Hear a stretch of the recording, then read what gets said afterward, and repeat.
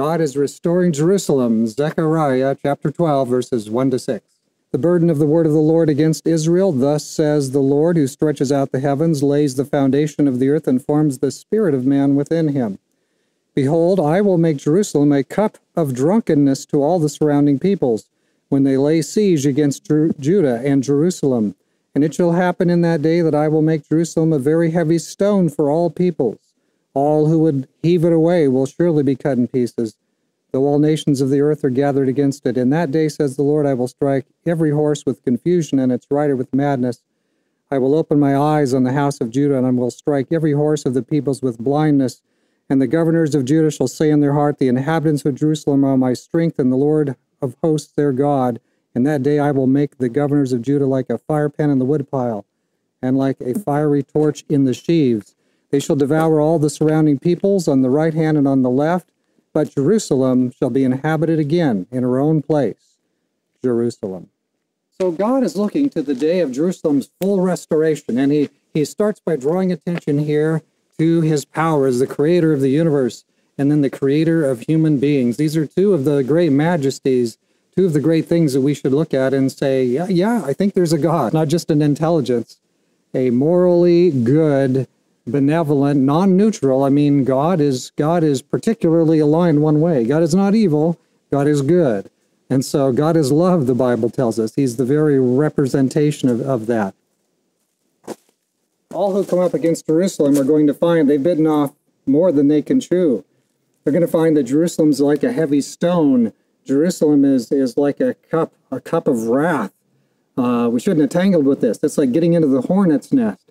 And so that's the picture that is shown here. The nations are going to come against God's people, think they're easy pickings, but in the end, when God is standing up for them, uh, it won't be a good day for them. They're going to find out that they they should not have gone there and done that.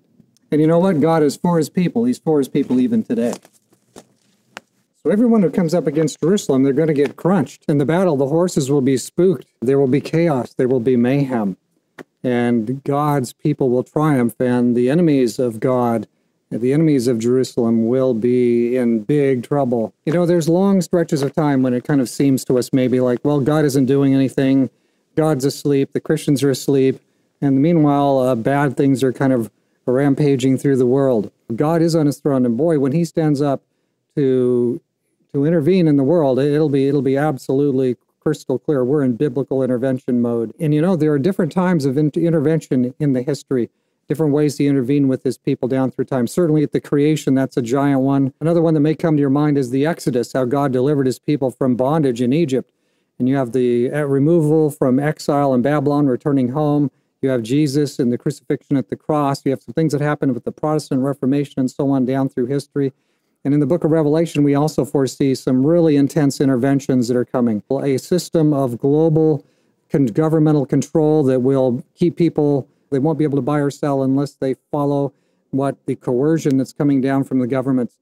We've never really seen a time when that was uh, clearly possible. But now in our day, the pieces are actually there. The machinery is being put in place even as we speak with these digital dollars and things that are coming at us very quickly. Yeah, we're in an interesting place and we know that there's a final giant intervention coming.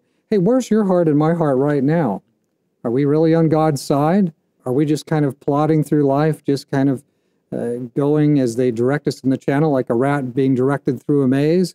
Or are we going to go ahead and go along with that and just kind of go until we get to the poisonous cheese at the end? Or, you know, are we going to trust in the God of heaven and earth? Zechariah 12, 1 to 6 shows that there comes a time when God rises up and stands up for his people and he intervenes and he brings things finally to fruition. And we want to be on the side of Jesus when we come to the final intervention.